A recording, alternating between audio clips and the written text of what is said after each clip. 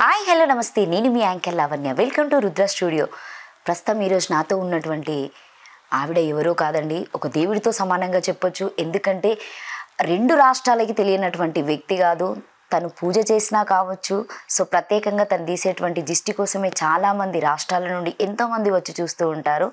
So తన మాటల్లో ఈరోజు ఒకసారి అడిగి తెలుసుకుందాము. అసలు వాస్తవాలు ఏంటి అనేది ఈరోజు మా రుద్ర స్టూడియోలో ఐషుమాత్తో తెలుసుకుందాము. ఈరోజు మేము కాచిగూడలో ఉన్నాము. అమ్మ నమస్తే.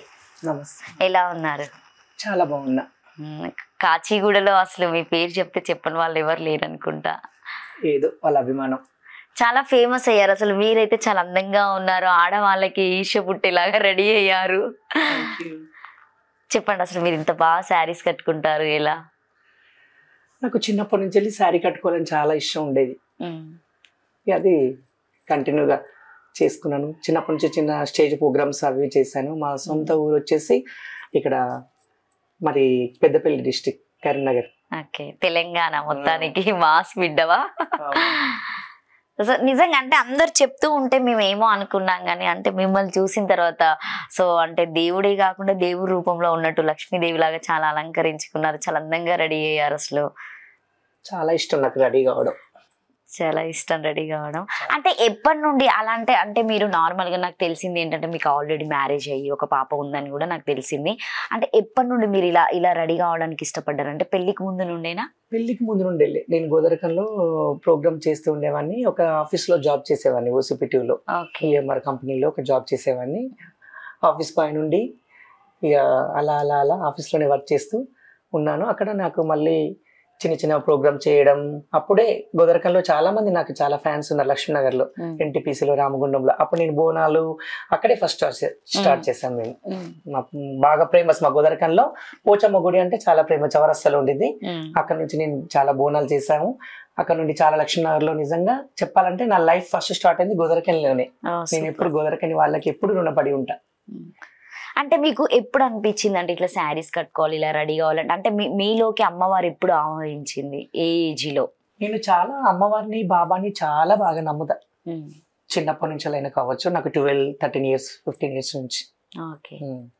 అప్పటి నుంచి నేను చాలా కొలుచుకుంటా. ఆ తల్లి నాకు చాలా దుర్గమ్మ అంటే మా కులదేవత ఎల్లమ్మ తల్లి నాకు చాలా ఇష్టం. అంటే మీ ఇంట్లో వంశపరంగా ఏమైనా ఉందా? లేకపోతే మీకు ఒక్కరికి అలా వచ్చింది? లేదండి మా ఇంట్లో లేదు అలా ఏం లేదు. పెద్దల నుండి. సో అంటే మీరు చాలా నిష్టగా ఉంటేనే కదా ఇప్పుడు ఈ ఈ స్టేజ్ వరకు వచ్చారు. అది ఎలా చేస్తారు అసలు మీరు? ఆ ప్రాసెస్ ఎలా ఉంటది? నేను మంగళవారం శుక్రవారం కంపల్సరీ శనివారం కంపల్సరీ అమ్మవారి డైలీ మామూలు పూజ చేసుకుంటా దీపం పెట్టుకుంటాను.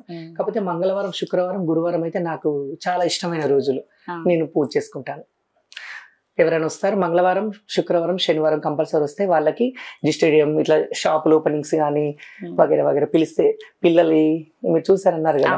ఇన్స్టాగ్రామ్లో కూడా పెట్టాను దాంట్లో పిల్లల్ని తోటి లేయడము షాపులు ఓపెన్ చేయడము పెళ్ళిళ్ళకి డాన్స్లకి నేను చాలా నా జీవితం ఫస్ట్ ఐదు వందలు ఫైవ్ హండ్రెడ్ రూపీస్ నుంచి నేను స్టార్ట్ చేశాను నా ప్రోగ్రామ్స్ చాలా చాలా కష్టపడ్డా. అప్పటి నుండి అక్కడ నుండి కూడా కష్టపడ్డానమ్మా నేను. మీకు పెళ్ళైన తర్వాత ఏమైనా ఎదుర్కొన్నారా? ఇలాంటి సమస్యలు మీ ఫ్యామిలీ నుండి మీ వైఫ్ మా ఫ్యామిలీ వాళ్ళకు కూడా తెలుసు. కానీ కాకపోతే మా ఫ్యామిలీ వాళ్ళకు ఇష్టం ఉండదు. నేను ఇలా రెడీ అవ్వడం అలా అలా. మా ఫ్యామిలీ వాళ్ళకు కూడా చెప్పాను కొంచెం. వాళ్ళు కూడా చెప్పారు వద్దని. నేను నాకు ఇష్టంగా. ఈ రోజు అయితే నాకు ఇష్టంగానే ఉంటున్నా. పాప ఉంది నాకు. మా సిస్టర్ దగ్గర ఉంటారు. వాళ్ళ అమ్మమ్మ వాళ్ళ దగ్గర మా మమ్మీ దగ్గర కూడా ఉంటారు. పాపను చూసుకుంటాను నేను. వస్తూ పోతూ ఉంటారా? వాళ్ళు ఏమైనా? నేను మా పాప నేను కలిసే ఉంటా.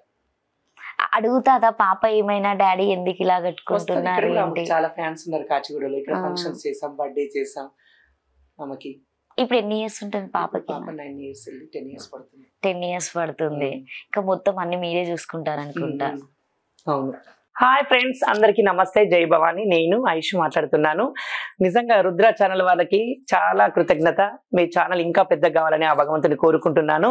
ఫ్రెండ్స్ మీరందరూ చూసే వాళ్ళందరూ రుద్ర ఛానల్ వాళ్ళకి నన్ను లైక్ చేయండి షేర్ చేయండి ఓకేనా? కామెంట్ చేయండి ప్లీజ్.